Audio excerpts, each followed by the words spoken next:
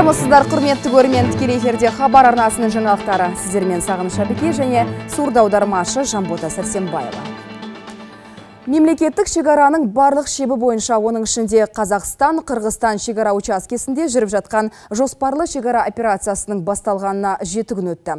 Осы уақыт аралығында қанша заң бұзушылық анықталды? Оны қордай шекара бақылау бөлімінде жүрген тілшіміз ұлан нарымбектен білсек ол бізбен тікелей байланысқа қосылды. Ұлан қайырлы күн. Шекарадағы ахуал қандай? Тексеріс қалыпты жүріп жатыр ма? Қайырлы күн сағыныш. Жоспарлы шекаралық операция басталғалы бері қордай учаскесіне жауапты сарбаздар 223 адамды ұстады. Олар көші қон заңнамасын және шекаралық режимді бұзғандар. Ұсталғандардың басым бөлігі дәлірек айтсақ 142 адам өзбекстанның азаматы ал 57 адам қырғыз республикасынан. Тағы 8 адам тәжікстанның тумасы. Заң талаптарын сақтамағандардың арасында ішінара түркия ресей әзірбайжан және ауғанстан азаматтары да бар. Бұл азаматтардың ісі сотқа жіберілді. Енді оларға айыппұл салынатын әлде ел аумағынан шығарылатын немесе депортация жасалатынын сот шешетін болады. Жалпы қазақстан қырғызстан шекарасының қордай учаскесі 245 шақырым болады. Бұл жерде адамдар мен көлік құралдарының өтуі үшін төрт бекет жұмыс істеп жатыр. Мендегі бар ақпарат әзірге осындай. Сағыныш. Рахмет. Бізбен тікелей байланыста болған әріптесім ұлан нарымбек хабарымызды жалғастырамыз. Қазақстан мен Қырғызстан шекарасындағы күшейтілген бақылауға қатысты отандық көлік комитетінің өкілдері пікір білдірді. Мамандар келтірген деректерге сүйенсек, жыл басынан 60 мыңға жуық шетелдік автокөлік құралы тексерілді. Оның ішінде 2 мыңнан астам заңнама бұзушылықтың тең жартысы қырғызстандық тасымалдаушылардың үлесінде екені анықталды. Әкімшілік құқық бұзушылық туралы кодекстің нормаларына сәйкес, бүгінде ел аумағында көлік тасымалы талабын орындамай жүрген шетелдік жүргізушілердің қозғалысына шектеу қойылып отыр заңнама бұзушылық салдары жойылып белгіленген айыппұл мөлшері төленген жағдайда ғана шектеу алынады дейді көлік комитетінің ахуал орталығы басшысының міндетін атқарушы қуаныш ермұханов. Қырғызстан республикасы мен қазақстан республикасының аралығында халықаралық қатынас туралы үкіметаралық келісім жасалған болатын. Бұл келісімге сәйкес осы каботаждық тасымалдауларға тыйым салынған. Негізгі себеп бұл қазақстан республикасының автомобильдер жолдары мен жүруге арналған автокөлік құралдарының жол берілетін параметрлерінен салмақтық параметрлерін асу деректері болып табылады. Парламент мәжілісінде еліміздің басты қаржылық құжаты талқыланып жатыр. Оған үкімет басшысы Бақытжан Сағынтаев бастаған үкімет мүшелері қатысуда. Мәжілісмендер алдымен ұлттық қордан 2018-2020 жылдарға арналған кепілдендірілген трансфер туралы заң жобасын мақұлдады. Ұлттық қордан бюджетке 2018 жылға 2 триллион 600 миллиард, 2019 жылға 2 триллион 300 миллиард, ал 2020 жылы 2 триллион теңге бөлінбек. Алдағы үш жылға арналған республикалық бюджеттің жобасы жайында үш бірдей министр баяндап берді. Ұлттық экономика министрі Тимур Сүлейменовтің айтуынша келер жылы бюджет шығыстары 9 триллион теңгені құрайды. Қаржы министрі Бақыт Сұлтанов бюджеттің басым шығыстары әлеуметтік салаға бағытталғанын айтады. Бұл мақсатқа алдағы үш жылға 13,4 триллион теңге қарастырылса, оның 4,1 триллион теңгесі келер жылдың еншісінде. Денсаулық сақтау саласына алдағы жылы 1 триллион 77 миллиард теңге, білім саласына 341 миллиард мәдениет пен спортқа 82 миллиард теңге көлемінде қаржы бөлінбек. Алдағы үш жылда нұрлы жер, нұрлы жол секілді мемлекеттік бағдарламаларды жүзеге асыру үшін қазынадан 2,1 триллион теңге жұмсалмақ. экономиканың жаңа драйвері ретінде агроөнеркәсіптік секторды дамытуға ауыл шаруашылығы министрлігіне үш жылдық мерзімде 787 миллиард теңге көзделеді оның ішінде 2018 жылға 275 миллиард теңге. Үшіншіден жедел технологиялар жаңғыртуды жалғастыру мақсатында цифрлық қазақстан мемлекеттік бағдарламаның жобасы әзірленген. 2018-2020 жылдарға арналған бюджеттің жобасында қаржыландыру көлемі 17 миллиард теңгені құрайды.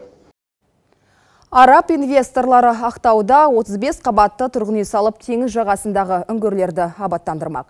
Шейх Сурур бин Мухаммед Аль Нахаян бастаған іскерлер тобы аймақ басшысымен кездесіп туризмді дамытуға бағытталған бірқатар жобаларын таныстырды. Біркен Араб әмірлігінен келген инвесторлар қаланы көркейту жұмыстарына қаржы құюға әзір. Нақтырақ айтқанда 35 қабатты тұрғын үй кешені зәулім сарай мен сәулетті мейрамхана тұрғызбақ. Сондай ақ жағалаудағы үңгірлерді ретке келтіріп, туристер тамашалайтын орынға айналдыруды көздейді. Қос тарап Маңғыстауда екі ел кәсіпкерлерінің қатысуымен экономикалық форум ұйымдастырып, түйелер жарысын өткізуге уағдаласты. Аталған жобалар қолдау тапса, келер жылы құрлы жұмыстарын бастаймыз. Туристерді Маңғыстау облысына тарту үшін барлық жағдайды жасаудың жолын қарастырамыз. Алдағы уақытта екі ел арасында табысты ынтымақтастық қатынас нығая түседі деп үміттенемін. Индустриалды инновациялық даму бағдарламасы аясында тағы бір кәсіпорынның іргесі қаланды. Қызылорда облысының Шиелі ауданында тампонажды цемент өндірілетін болады. Қазақ-Қытай біріккен кәсіпорны жылына 1 миллион тонна өнім шығармақ. Жаңа зауыт Шиелі аудандағы индустриалды аймақтан бой көтеруде. Ол үшін 46 гектар жер телімі беріліп отыр. Құрылыс барысында 400 адам жұмыс істейді. Ал зауыт іске қосылғаннан кейін 260 тұрақты жұмыс орны ашылады. Жоспар бойынша келер жылдың желтоқсан айында зауыт алғашқы өнімін шығара бастайды. Тампонажды цемент, мұнай және атом саласында кеңінен қолданылады. Бұл импорттайтын құрылыс материалдары көлемін азайтуға айтарлықтай ықпал ететін болады дейді мамандар. Еліміздегі ұлттық биотехнология орталығының ғалымдары ғаламат жаңалықтың жаршысы атанды. Себебі елімізде алғаш рет адам ағзасынан биоматериал алу арқылы денсаулығына қатысты мәліметтерді білуге болады. Толығырақ тілші материалында. Енді кез келген қала тұрғыны ұлттық биотехнология орталығына келіп геномдық төлқұжат алуына болады. Бұл төлқұжат арқылы сіз денеңіздегі ауруларды алдын ала біліп қана қоймай, теріңіздің қартаю деңгейін анықтауға көмектеседі. Жыл жаңалығына айналған бұл жоба Қазақстанда тұңғыш рет ашылған. В данной пробирке содержится мына құтыға адамнан алынған биоматериал құйылады. Ол қан немесе сілекей болуы мүмкін. Содан кейін арнайы аппаратқа салып сканерлеп днк нәтижесін біледі. Ата бабамыз ежелден жеті атаға бөліп қан тазалығын сақтауды жиі айтатын. Себебі ұрпақ тәрбиесі ұлт болашағы. Кезінде айтып кеткен дана халықтың сөздері бүгінде іспен дәлелденуде. Елімізде алғаш рет тапсырған қан арқылы денсаулығыңызды тіпті болашақ сәбиіңізге қатысты мәліметтерді біле аласыз. Мысалы мынау әйелдерді айтсақ болашақта енді ана болашақта келетін ұрпақ қандай аурулар болуы мүмкін? Мынау ұрпақта. Сондай сондай көп мәселелерді алдын ала оны болжауға болады. Геномика деген сала алғаш рет дүние жүзінде адам ағзасын 2001 жылы зерттеген. Осылайша араға ұзақ жылдар салып елімізде де қолданысқа енді. Біздегі жобаның тиімділігі үш күн ішінде қолыңызға құжатты ала аласыз. Сонымен қатар үй жануарларына да генетикалық төлқұжат алуға болады. Асыл тұқымды жануарларға жылқыға болсын ірі қара малға төлқұжат өте қажет. Асыл тұқымдың генетикада селекция да қай жерде қалай пайдалануға болатыны соған күллік ақпарат сонда болады. Ғалымдар алғашқы тапсырыс берушіні қабылдауға дайын. Геномдық құжаттың бағасы 6000 теңге шамасында. Мамандар келешекте косметологтар сондай ақ ұлттық ана мен бала ғылыми орталығымен бірлесіп жұмыс жасамақ. Бірлік берікұлы аманжол байғазин жаңалықтар астана. Америкалықтар қазақ боксы туралы тамаша фильм түсірді. Сөзсіз қазақ жерінен шыққан жігіттер шаршалаңда қарсылас шақ келтірмей жоғары көрсеткіштерге қол жеткізіп жүр.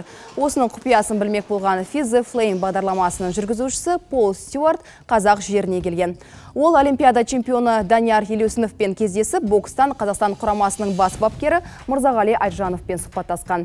Мейман жылқы шаруа қожалығына да барған. Атты әрі көлік, әрі тағам еткен халық қанатты пыраққа мініп елін жерін жаудан қорғаған. Сол табандылық қазіргі қазақ жігіттерінің бойында да бар. Олардың рухы мықты. Сондықтан олар спортта осындай жоғары нәтижелерге қол жеткізіп жүр.